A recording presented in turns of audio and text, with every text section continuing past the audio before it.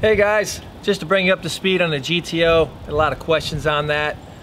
I don't have a lot of information on that car. I'm gonna head over there tomorrow, try to get some updates on that, get the owner contact information, and I am gonna try my best to buy that car, pull that car out of there, and get it home and see what, just how bad it is and, and see if that's something that we can rebuild. So really, really would love to have that car. So I also have this 66 Beetle I'm going to show you. I forgot to tell you, I just found a uh, late 60s Firebird this weekend as well. So I've been on the hunt, cruising around, looking for old cars before the leaves, before the leaves come back, and it's hard to see all these cars that are sitting around. So let's show you this 66 Beetle. So I bought this car over the summer. It was part of a three car deal. What do we got? We got a little Java green, some blue, we got a sunroof clip welded in, pop out rear windows, older New York license plate.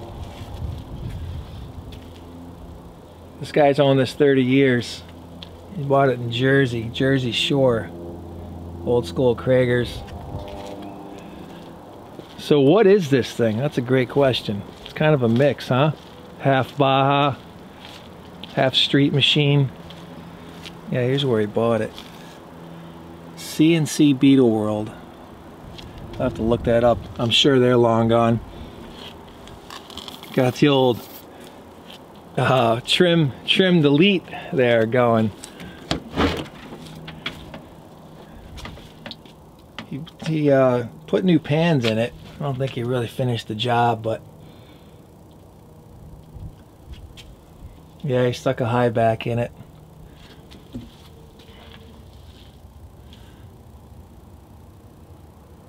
If you got, yeah, there you go. See the sunroof.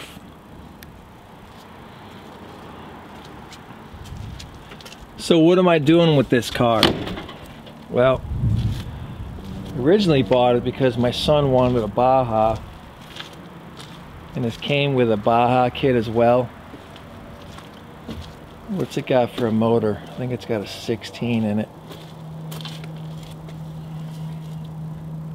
AH, yeah, 1600. It's not stuck. It's got some interesting, I don't know if you can see in there, some interesting wiring, that's for sure. Different color tail lights. Looks pretty cool with those big Cragars on there though. It's definitely different looking. I thought it was pretty cool. But now all I've got on my mind is that, that GTO. Give you a look at this side. It's got the factory radio delete option you see there.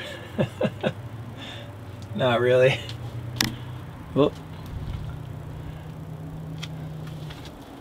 Body's actually uh, body's actually not too bad. I think it's been hit in the front though. Well, you can see, you can see the apron we got in here. It still has a body tag. That's good. Yeah, front's been hit. Front's definitely been hit. It's got the original gas tank. I like that. What year is this? The New York Times, 1994, July. I go back to 94 in July any day. Racing motocross in New England. We got our door handle here. Extra, oh my goodness. How, how funny is that? It's got a slinky in it. I'll, my son has a plastic slinky and yesterday he tangled it all up. And to think it actually has a real, a real genuine slinky in here. That is, that's pretty crazy. what else we got on there? Starter, clutch disc. Oh yeah, is that a little, yeah, the old Nerf, the old Nerf bar on there. Oh yeah. old Nerf bars.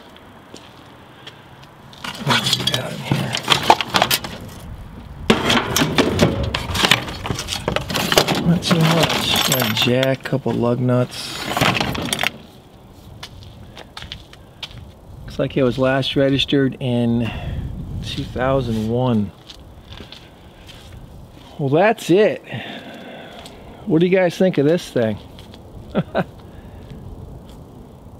I'm stoked it had a slinky in it, a real one. It's probably how, who knows how long that's been in there. Bug with a slinky.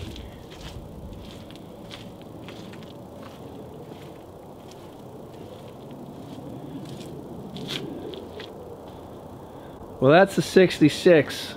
It's gonna need some TLC, but this one, this one's going down the road, so if any of you guys absolutely have to have it, please contact me. we had we had on the trailer yesterday. We went to breakfast, and and Jen was saying, "Oh, maybe we can find a buyer." yeah, she'd uh, she'd like to see a vehicle or two go away. Got a battery for the 914. I've had this out a couple times. Cool car to drive. Here's the Baja kit that came with it. Marcy, I will get those out to you this week, I promise. Those taillights, those were in the ground over there in ice until we finally thawed out. This thing's ready to come off. The 67 body. Drop that body on. What else? There's the weld. That didn't come out too bad. Just to, just so this could happen. Open, close. Fantastic. Gonna pull the bus out before this mud gets any any worse. Get that out here because I want to get cracking on that too. So that's it. Probably take the charger out today.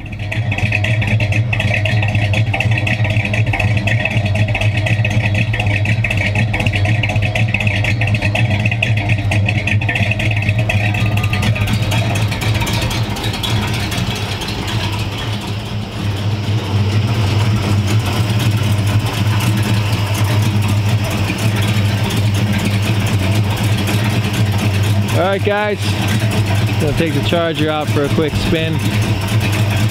Can't wait to get to work on this.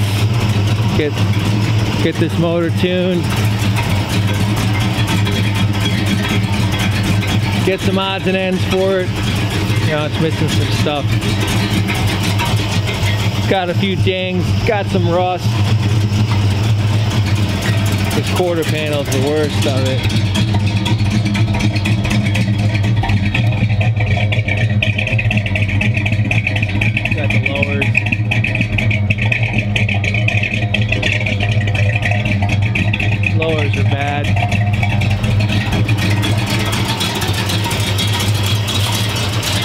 Got that dent in the fender.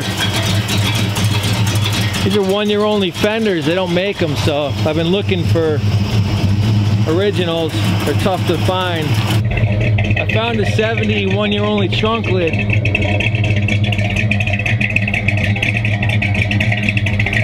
The 70s have the, uh, the spot for the wing for the 70s in uh, NASCAR. They had that wing on there, the uh, Daytonas. It's alright, I love it. I'm beyond stoked to own this car. Generation 2 Chargers, as you know, are super crazy what they want for these things now. So, fits me perfect. The driver. Thought you might like to see the Charger. I sure do like seeing it outside. I'll take it for a quick spin. You talk about a difference. I just drove the 914 and then I jumped in the Charger. Big difference. I think you can put the uh, 914 on the hood of this thing. And one more thing, I just want to say thank you to you guys for helping me get through the winter. I was out here working on these projects, as you may or may not know, in the snow, and I've been working on these cars really every day. I just don't film every day.